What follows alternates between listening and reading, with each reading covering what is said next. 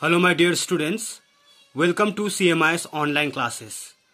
In today's class, in this video, for the students of standard 9, we'll start the new chapter from our English grammar that is active and passive voice.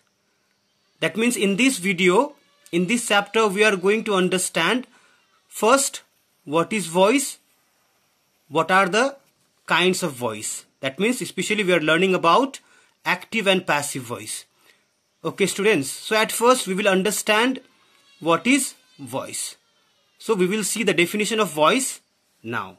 So the definition of voice is written here. What is voice?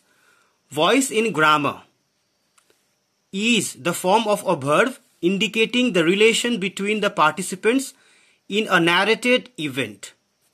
Subject, object and the event itself. So, voice, according to grammar, voice क्या है? वो एक क्रिया का रूप है form of a verb जो काम हम व्यक्त करते हैं।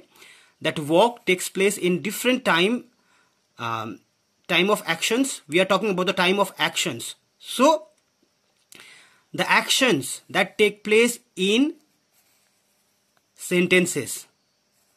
So, the relation of that particular actions action with the participants participants means the subject that does action in the sentence and the object that receives the action done by the subject. So the relation of the form of verbs with the subject and object in a sentence is voice is expressed by voice okay. And the event itself. And how event is performed itself. It is also expressed by voice. Expressed through voice in grammar. Okay. So common distinctions of voice found in languages are those of active and passive voice. So what is voice? We have understood here. Voice is the expression of actions that take place uh, in sentences. So how the same actions are expressed differently. That is said by voice. That is that is uh, expressed by voice depending upon the time of actions. That particular action takes place and also indicating the relation between the participants. Participants there are always two participants of the actions. One is the subject that does the action. And another is the object. Though the object does not perform actions but it receives the action performed by the subject. Okay. So common distinctions of voice found in languages are those of active and passive voice. So uh, as i told you that voice is the expression of events. Events means actions that take place in sentences. Okay. So uh, voice expresses the actions okay? But the action can be expressed separately. How we uh, how we express the actions that place that take place in sentences uh, differently it can be or the actions can be expressed separately uh, in voice according to active and passive voice. Now active and passive voice are the kinds of voice. There are two types of voice. One is active and another is passive voice. Now what is active and voice, what is passive voice that we have to understand in this video. Okay. So further we have to understand the definition of voice. It tells us the actions. So it stands for voice. That means voice tells us the actions that take place in sentences. So so, voice हमें क्या बताते हैं? जो काम sentence पे होता है उस काम के बारे में हमें बताते हैं। So how how does it tell us about the actions that take place in sentences the actions that take place in sentences are done by the subject or something is done to the subject so in two ways we express the same action one is in active voice another is in passive voice okay So how? By saying that the subject, if the subject performs the action or something is done to the subject. या तो we already know that subjects are the performers of the actions. Okay. So if the subjects are the performers of the actions okay directly then the sentences written is in active voice. But if the if the if something is done to the subject while expressing the action in the different way. That is passive voice. We have different rules. We have so many rules to follow while changing sentences into passive uh, into uh, passive voice from the active voice. Okay. So all these rules we are going to understand in this video. Okay. So before that let us know what are the types of voice and what is the definition of each voice with example. Okay. Now see here the voice is of two types. There are two types of voice. That means in two voices we can express the same actions express the same action. Like one in active voice one is active voice another is passive voice. So let us see what is pass uh, what is active voice. Active voice. A sentence is said to be in active voice if the subject is the in the sentence performs the action directly so how? For example Sasi played the guitar at the party. He performed a dance on his friend's birthday celebration. So let us see. If you read this sentence Sasi played the guitar what is the action done here? Played. What is the verb here? Played. So who has played the guitar? Sasi. So what is Sasi here? Sasi is the subject here. Sasi is the noun which is used as the subject here. So here the action of playing guitar is done directly by the subject Sasi. So here if the sentence express the action which is directly done by the subject then it is the sentence written in active voice. Okay. Like in another sentence we have he performed a dance on his friend's birthday celebration. Who performed the dance? He. So he is the subject here. So the subject is performing the actions dire action directly here in this sentence. Action of performing a dance. So here the sentence is in active voice. Okay. If the subject in a sentence perform the action directly, then that sentence is in active voice okay now let us see what is passive voice. Passive voice. A sentence is said to be in passive voice if the subject in the sentence is acted upon to the action performed in the sentence or something is done to the subject for example. So if after reading the sentences and the actions that are performed in sentences if we come to know that the action that something is done to the performer of the action then the sentence is said to be in a passive voice in passive voice. Like the guitar was played by Sasi at the party. The same sentence which I have written here in active voice I have changed the same sentence into passive voice. The guitar was played by Sasi at the party. So if you see here, the subject is the guitar, okay, which is uh, object in this sentence, the guitar. She played the guitar. What did she play? The guitar. So she is uh, subject here, but the object is the guitar here. Now this object is changed into subject in passive voice. Okay, the guitar was played by Sasi. Who is the performer of the action here? Sasi but Sasi is used as an object here. Okay. So whenever we are changing uh, the sentences in active voice into passive voice, we have to change the place of subject and object first.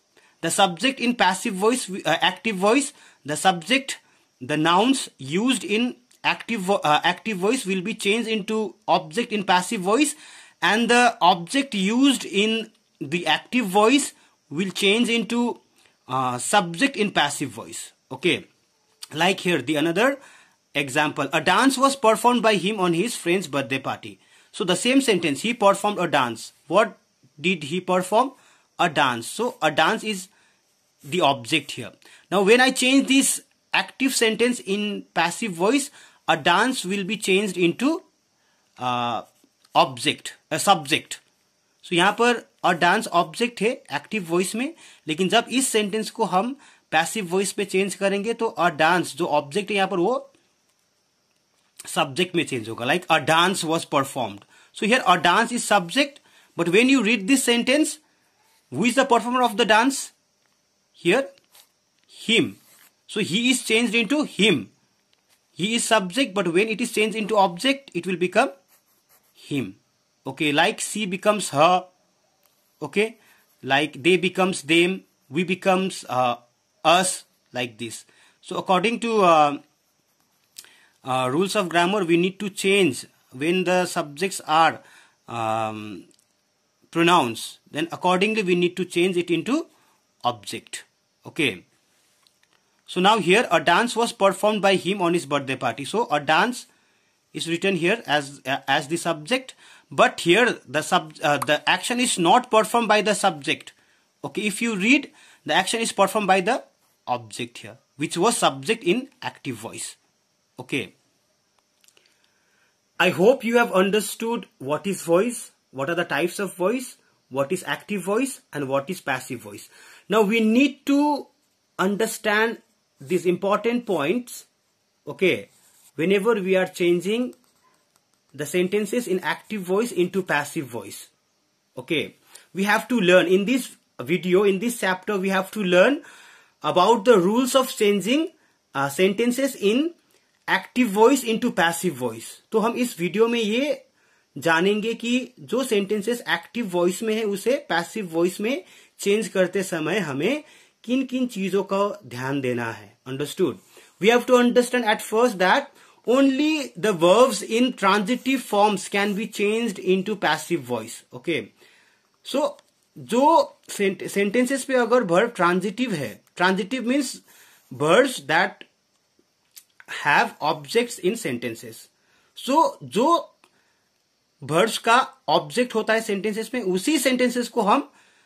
Passive uh, voice में change करेंगे। Okay that means intransitive verbs can not be change into passive voice okay now after that what is the main point to understand while changing the sentences in active voice into passive voice the subject is change into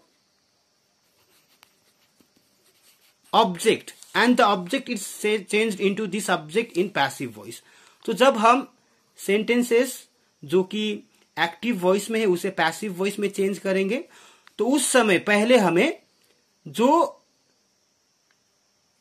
active voice में जो nouns और pronounce subject की तरह use हुआ है, उसे passive voice में object में चेंज करेंगे, और एक्टिव वॉइस में जो नाउन्स और प्रोनाउंस ऑब्जेक्ट की तरह यूज़ हुआ है उसे हम पैसिव वॉइस में सब्जेक्ट बनाएँगे okay so after that what we have to do preposition by is put before the object used in the sentence in passive voice. So, after changing the subject into object and object into subject in passive voice, so जिस object को हम passive voice में जिस nouns और pronouns को हम active passive voice में object object की तरह यूज़ करेंगे उस ऑब्जेक्ट से पहले हम प्रीपोजिशन बाय का इस्तेमाल करेंगे। Okay we will see this in examples also and after that what we have to understand is the main words use in sentences in active voice have to be change in the past participle form of words in sentences in passive voice so when we change the sentences in active voice into passive voice the main words that the finite words the each sentences in active voice have to be changed into B3 form of the verbs.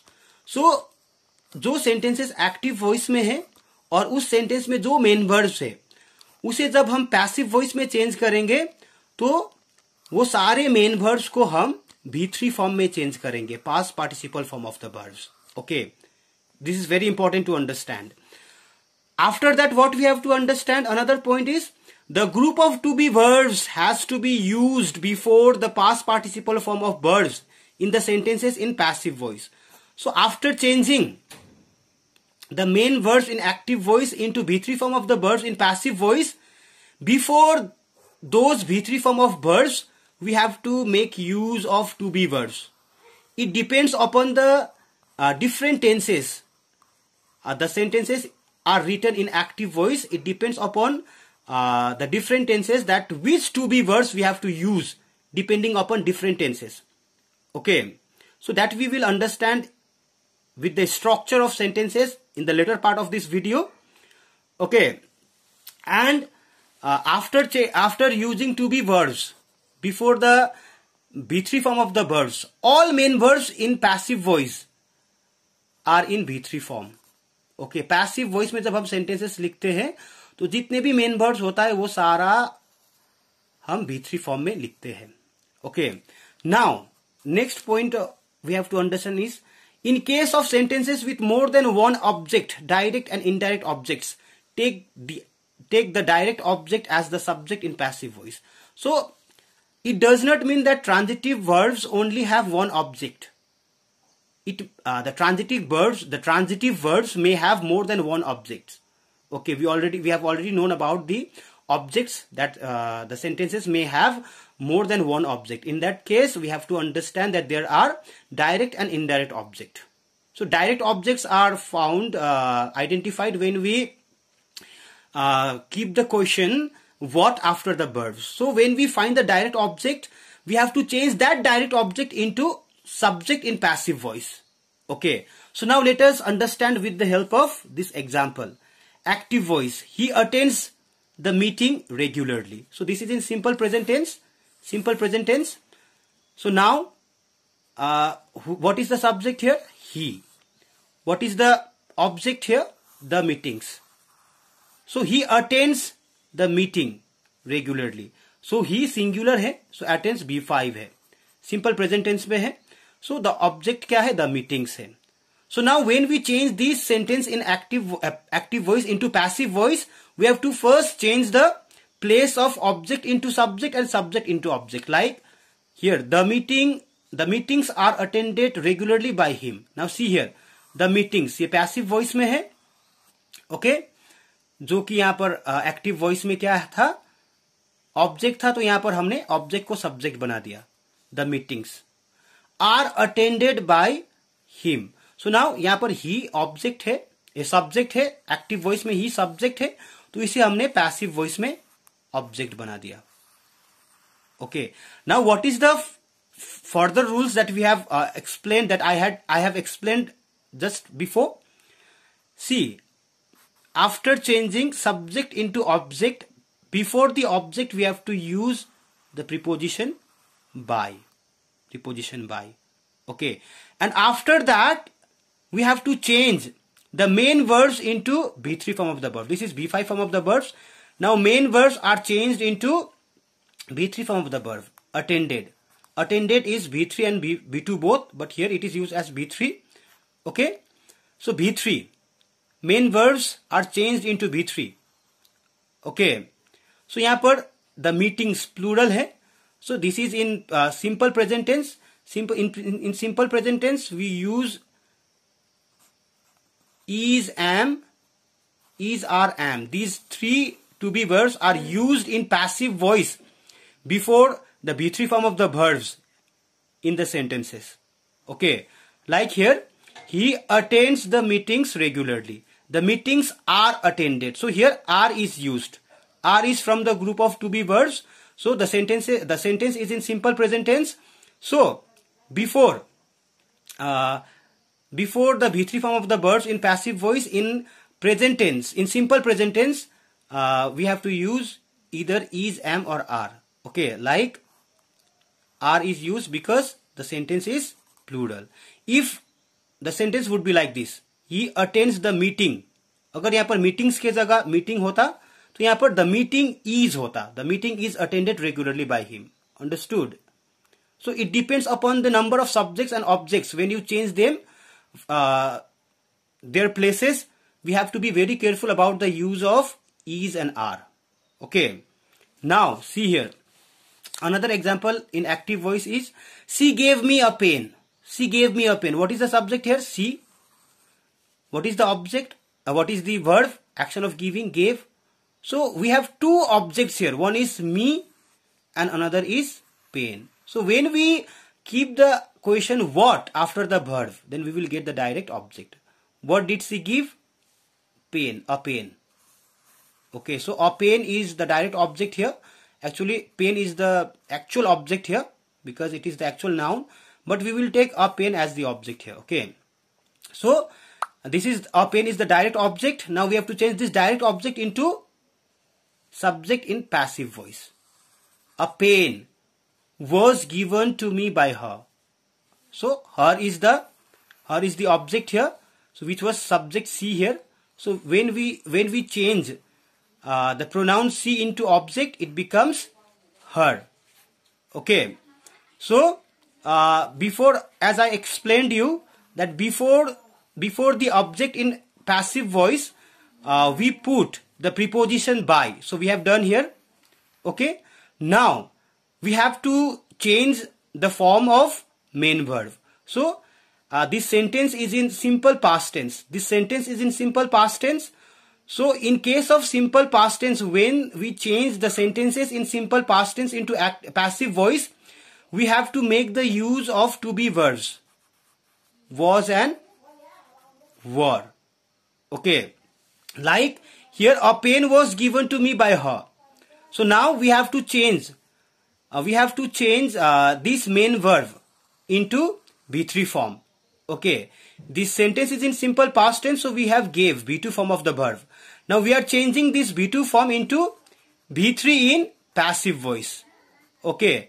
So V3 of give is given. This is passive voice. This requirement is also fulfilled. Now what is the another requirement is the use of to be verbs before the V3 form of the verb. So this sentence is in simple past tense. So when we change the sentences in active voice in the simple past tense into passive voice, we have to make use of either was or were. So we have used we have used was here. Why? Because the subject pain is singular here. So was. So now if the sentence if the sentences in active voice would be in uh, plural uh, with plural object like she gave me pens अगर pens होता है यहाँ पर तो pens is plural so now if we change this sentence in passive voice so pens यहाँ पर क्या होता? Pens so we have plural so we would have pens were given to me by her so now now in case of uh, pronouns when we use pronouns as then he changes to him she changes to her okay? It will change always to it only. Now they will change into them okay? I changes to um,